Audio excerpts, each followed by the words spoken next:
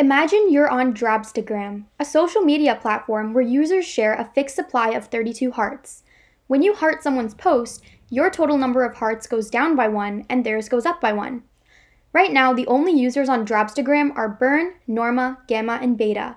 However, not everyone is Drabstagram friends with each other. If two people are connected by a line, they can anonymously exchange hearts with one another, but not otherwise. Assume that every day, Dropstagram users must give away all of their hearts in the following way. They write the names of all their Dropstagram friends on identical slips of paper and put them in a hat. They then choose a name at random and give one of their hearts to the user chosen. This process is repeated until the user has given away all of their hearts. Once every user has completed this process, their heart totals are re-updated to the new amounts. In a sense, the 32 hearts are freely circulating from user to user, with each user randomly deciding who to send their hearts to next. This is called a Markov chain, named as such since it obeys the Markov property. Let's follow the journey of a single heart for now. By the Markov property, the probability that some user has the heart a day from now, given that we know who had the heart every day since the founding of Drabstagram, doesn't change if we only look at who has the heart now. In other words, Given the present, the past is independent of the future. This is because each user doesn't care who sent them the heart, or who sent the heart to the person who sent them the heart. Their decision about whose post to like next depends only on who they are friends with.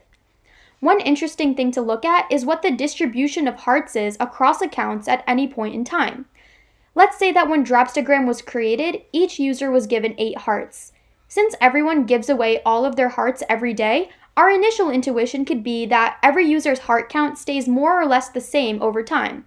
However, this is not the case. Notice that Norma has three friends on Dropstagram while Beta only has one, so there are three times as many people who could potentially send her hearts. It turns out that for a reversible Markov chain like this, where every connection is two-way, the long run or stationary distribution of hearts is proportional to the number of connections each user has. For example, since Norma has three connections and there are eight connections in total since each one is two-way, in the long run, Norma will end up with about 3 eighths of the total hearts. If the four users stay active on Dropstagram for long enough, we will see that Norma will end up with about 12 hearts, with Burn and Gamma having around 8 and Beta having around 4. Stationary distributions and the Markov property have made Markov chains an extremely useful model to use for real-world problems. Thanks for watching.